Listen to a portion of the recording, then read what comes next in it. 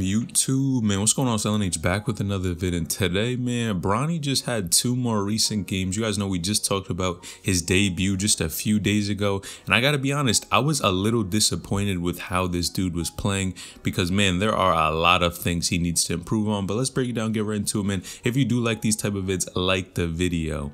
Now, if you guys have not been tuning in, Bronny actually just had, of course, his official debut, which I covered in a recent video, and then he just had two other recent games where they actually played San Ysidro, Mikey Williams' old high school, and another high school team. And man, to say the least, there are a lot of people that were criticizing Bronny. Now, number one, in a lot of these games, people even were pointing out that Bronny was not even starting.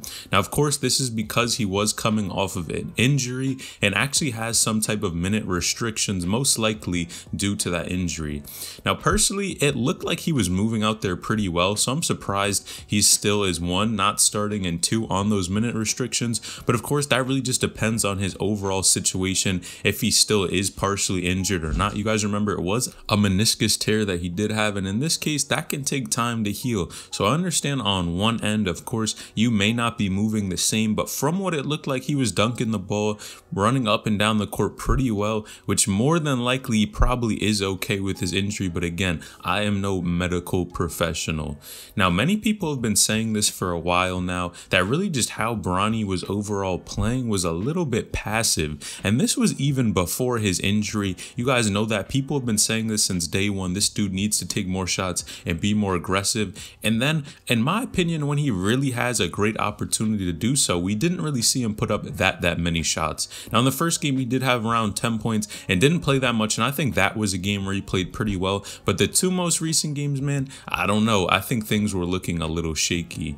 Now, for one, he definitely had good defense. That is always there for sure. He was blocking shots, really playing well on his man, not letting his men score. And that's something that we already know he's known for. And of course, his passes as well. We know he has the IQ to be able to make those high level plays and get his teammates involved. But at the end of the day, when you're in high school, you have to get yours. And sometimes I am not seeing that. Now, he definitely didn't put up too many shots. And again, the comment section was really flooded with this that he needs to be more selfish. Now, in my opinion, when Amari Bailey is not there, the game looked completely different. Now, you guys know Amari is really the top scorer on the team. He's the one that's going to put up a ton of shots. And in my opinion, when Bronny had the opportunity to do this, Amari, of course, is out because he had an injury. This should really be the time for Bronny to take a ton of shots, go out there and just put up whatever he wants and try to be the leading scorer of the team. And that did not happen whatsoever. It almost looked like a piece of the team was missing. And you clearly saw how much of an impact Amari did make because, man, they were not looking the best without him. And they really didn't have that scoring piece, that guy that was just going to put up a ton of points for the team. And they really needed it. And personally, I thought Bronny would have had a great opportunity and probably still has because Amari is still most likely going to be out to go out there and put up the ball and score a ton of points. But man, it again, it seems like he's really being hesitant to shoot the ball and is doing a lot more passing, not really even looking for his shot at times. He did put up some, and I got to give him that. I got to give credit where it's due, but he definitely needs to be way more aggressive for sure if he really wants to kill these overrated comments and the fact that he's just another James. He is the son of LeBron, and that's the only reason why he has everything he has. Now, in the second game that they actually played, his team did lose. And personally, I almost thought that sometimes Bronny really didn't even look like a factor on the court. Now, this is no hate for sure because I've been watching this dude for a minute now and have seen when he's really playing at his best, when he gets hot on the offensive end. And it's something about this Sierra Canyon team where I think this dude does not gel well on offense at all. We've seen in AAU, especially in EYBL, when it seemed like he was much more comfortable on the court, shooting his shot, doing his thing really going out there being aggressive. And then in this game, there's just something off about it where he's not really being as aggressive, trying to put up the ball, you know, cross someone, maybe do a one on one move. He really is just looking to pass the ball and get an assist, which is fine if he's that type of player. But again, at the high school level, even dudes that play defense, even in the NBA that are known for locking up players, were scoring a ton of points in high school. And that's why I think it's so vital that, again, this type of aggression can translate over into other other areas of your game. Even somebody like Patrick Beverley was a great offensive player in high school. So for Bronny and people to say that this dude is just a playmaker or just a defensive guy, at the end of the day, you got to be able to score in high school. There is no doubt, and especially moving forward to the next level. But of course, he is not worried about moving forward because you guys know this dude has had probably an offer since he was in about eighth grade, I believe, and he's not worried about going to college. That's most likely where he's going to go.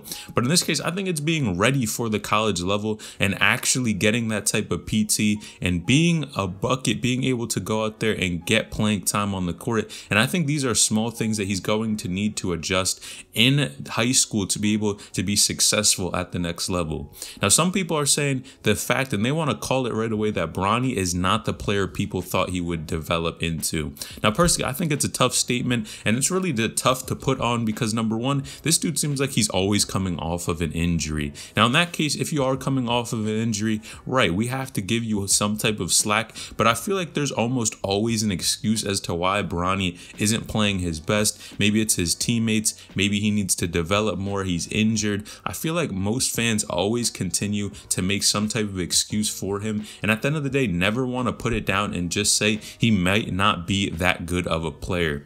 Now, definitely, I can't say that he's not that good of a player because we've seen glimpses here and there, but it definitely is hard to continue to have this type of optimism with his game when, again, we've seen this and proven over and over again that he just doesn't sometimes have that aggression and that drive on the court. And whenever we talk about motivating factors, of course, people like to point to his father as well. You guys know Bron was homeless at one point, and he had a way different motivation factor to be able to play the game of basketball and make it out of a situation where somebody like Bronny or even Zaire Wade, they have different types of motivation, and it doesn't mean that it's bad, but you have to find somewhere within yourself to just have that hunger to go out there and make it happen. And sometimes, man, I think this can hinder Bronny because sometimes he may not have the same type of drive that Bron once had. Now, some people like to go back and forth on this statement, man, and some people want to go as even far as calling Bronny a role player on the team. But personally, maybe if you want to say not in the first game, but I think the two games that he most recently played, this dude somewhat looked like a role player. I think, again, it's going to take a lot of improvement for him to really go out there and change what's going on with his situation. Now, number one, a lot of people have said this dude is going to be the best player in the country by the time he's a senior. And man, I don't know. Personally, I thought maybe it was Amari Bailey scoring the basketball that didn't really give an opportunity for Bronny to put it up there. But as soon as he's injured, and now I still don't see Bronny getting that aggression and trying to score the ball a little bit more. And his team, of course, lost in one of those games. Man, I am not sure. I think it's definitely a tricky situation. I want to have that optimism because, again, we've seen glimpses of when this dude can be that guy on the court. But I think it's going to take a lot of convincing and a lot of change to his game. And really, it's more of his overall mindset. This dude has the talent, but it's just the drive, the aggression, and the mindset that you're going to want to go after, go on the court and get it and make it happen regardless of what's going on, what situation you're in. And once he develops that, I think this dude will be fine. But until then, I think a lot of people are still going to criticize again that his last name, he's just the son of an NBA player. And that's the reason why he has everything he has in the game of basketball, his rankings,